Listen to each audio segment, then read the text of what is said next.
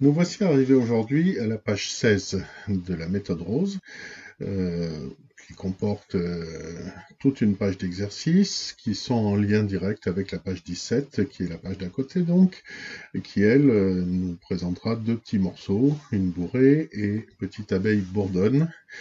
Alors, ce qu'il y a de nouveau sur cette page 16, c'est que nous changeons de position. Au lieu d'être en position de dos, comme nous le faisions habituellement, cette fois-ci, on va mettre le pouce de la main droite sur le sol et le petit doigt de la main gauche sur le sol.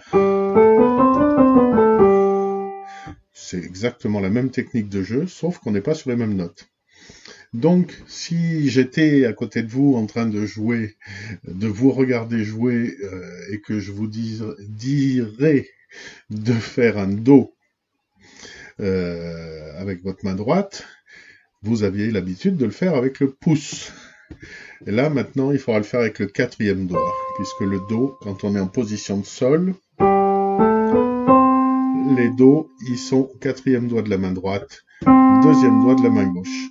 C'est la seule chose qui complique un petit peu le système, et donc ça vous oblige aussi à lire les notes euh, en bas de la portée, euh, à partir du sol, donc chose qu'on n'avait pas l'habitude de faire puisqu'on jouait jusqu'à présent à partir du Do 5 à la main droite, euh, c'est-à-dire en haut de la portée en clé de sol. Et là, on est en plein milieu de la portée en clé de sol, donc on descend un petit peu notre main et on joue entre le Do 4, je vous rappelle qu'il est celui du milieu du clavier, et le Do 5. On va jouer sur ce sol qui est entre ces deux Do-là. On y va tout de suite, vu comme je vous l'ai expliqué dans l'introduction, la seule chose qui change en réalité, c'est euh, la position de nos doigts sur le clavier. Euh, sans ça, c'est la même technique de jeu. On a toujours notre clé de sol, notre C euh, qui indique qu'on est dans une mesure à 4 temps. Et ce premier exercice, donc par en sol, alors ils sont gentils. Dans un premier temps, ils vous ont mis tous les numéros de tous les doigts, bien que ce soit des notes côte à côte, on monte euh, la gamme de sol, quoi, en réalité.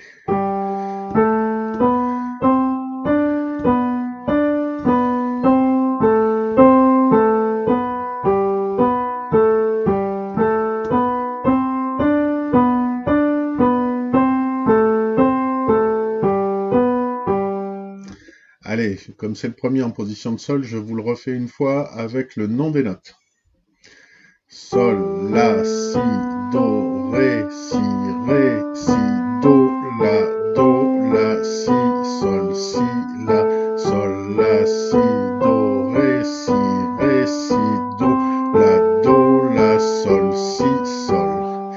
C'est pas une mauvaise habitude à prendre d'ailleurs, hein, de s'entraîner à dire le nom des notes en les jouant.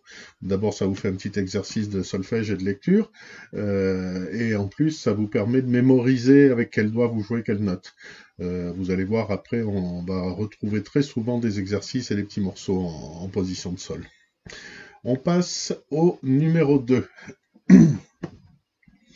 Toujours en position de sol, évidemment.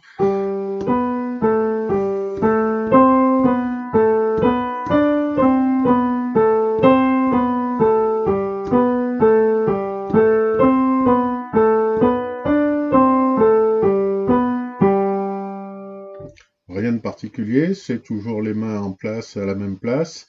Euh, bon, on fait quelques tierces par-ci par-là, donc il faut bien surveiller la partition. Euh, sur l'avant-dernière mesure en particulier. Si, Ré, Do, La, Sol. On ne fait pas le Si en descendant. Si, Ré, Do, La, Sol, Si, Sol. Enfin bon, maintenant vous en êtes euh, à la page 16 de la méthode rose, donc vous, savez repérer tous ces petits pièges qu'on a sur les partitions. L'exercice numéro 3, toujours sur la même page.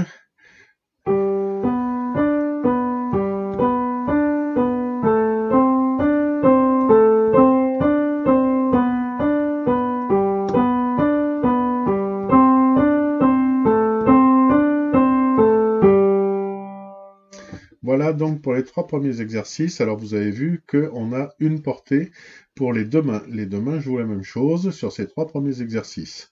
On va passer à l'exercice numéro 4 qui lui a deux portées. Portée en clé de sol pour la main droite toujours en position de sol. Hein.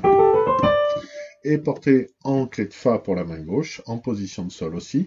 Mais donc c'est le sol qui est plus bas. En réalité, c'est le sol 2 de votre clavier, si vous avez un 88 notes, euh, c'est le sol 2. Sur les petits claviers, je suppose que ça doit être le premier. Et encore que je ne sais pas où ils commencent les claviers en, plus court. Euh, donc là, nous avons nos deux mains qui commencent à jouer ensemble, en position de sol. Bon, dans un premier temps, c'est assez soft. On a euh, le sol de la main gauche, le ré de la main gauche. La main droite joue un premier thème et la main gauche reprend le premier thème de la main droite, tout en faisant ce que faisait la main gauche précédemment. Nous sommes donc sur le numéro 4, l'exercice numéro 4. Position de sol, position de euh, sol aux deux mains et clé de sol main droite, clé de fa main gauche.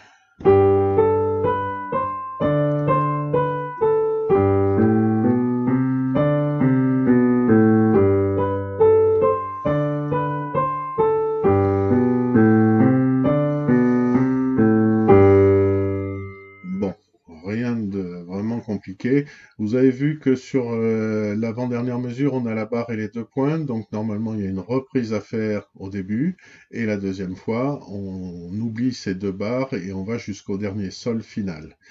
Euh, bon, je ne vous fais pas les reprises, mais vous pouvez les faire chez vous, bien sûr, pour vous entraîner. Le numéro 5, alors ce qui change, c'est que ce sont des blanches à la main gauche et des noirs à la main droite. Donc on a deux notes à la main droite pendant qu'on n'en joue qu'une à la main gauche. Hein. Vous vous souvenez que la blanche dure deux temps et la noire dure un temps. On est toujours dans une mesure à quatre temps. Sol, Si, La, Do, Si, Sol,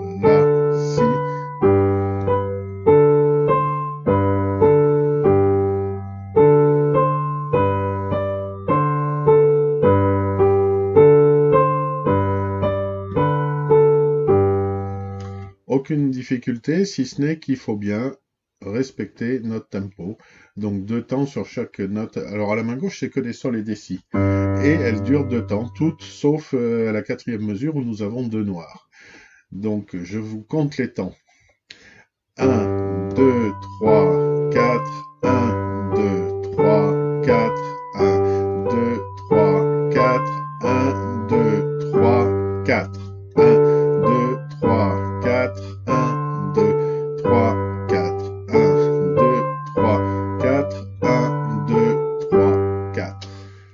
L'exercice numéro 6 euh, est très compliqué. Alors, ce qu'il y a de bien, c'est que ce sont des blanches, à la main droite et à la main gauche.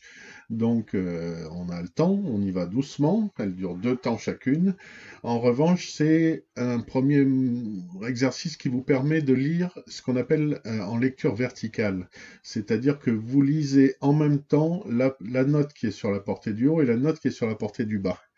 Alors bon, là ça va, c'est que des notes simples une par une, mais quand vous avez des accords à faire et qu'il faut lire en vertical comme ça, pour jouer, déchiffrer un morceau main ensemble par exemple, ça devient extrêmement compliqué. Et alors deuxième euh, complication, si je puis dire, c'est que les deux mains font pas du tout la même chose. On y va très lentement.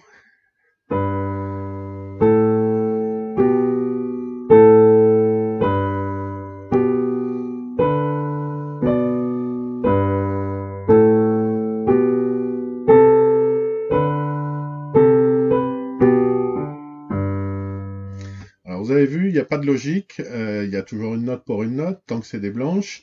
Au moment où on passe sur les deux noirs à l'avant-dernière mesure à main droite, euh, on joue nos deux notes noires, évidemment, pendant qu'on reste sur la blanche sur le dos euh, à la main gauche. Euh, mais bon, euh, on avait commencé à prendre l'habitude un petit peu de jouer en regardant quand ça monte et quand ça descend, puisque pour le moment, on maîtrise pas encore vraiment les notes euh, en clé de fa.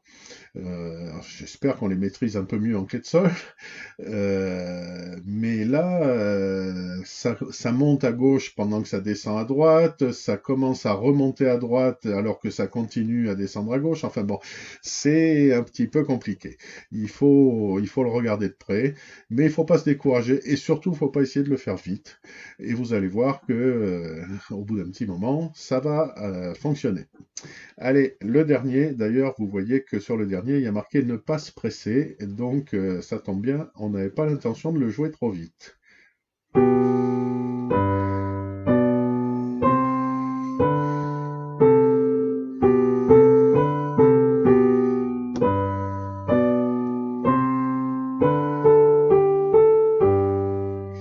C'est très sympa parce que ça fait une deuxième voix à la main gauche, euh, mais vraiment il faut être très attentif et il faut lire de, haut en bas ou de bas en haut comme vous voulez. Euh, en principe, moi j'ai plus l'habitude, je crois, de lire de haut en bas. Je lis d'abord la main droite et tout de suite après je regarde la main gauche. Bon, la main droite, ça devient assez automatique. Au bout d'un moment, j'ai pas besoin de réfléchir à quelle est la note. Et la main gauche, tant qu'on est sur la portée en clé de fa, c'est pareil, c'est assez automatique, mais il faut vraiment et puis il faut que nos deux notes tombent en même temps. Hein. C'est pas le tout de faire euh, celle de la main droite et celle de la main gauche. Il faut que mon sol et mon si, les deux premières notes, il faut qu'elles soient pile ensemble. Allez, je vous le refais une fois.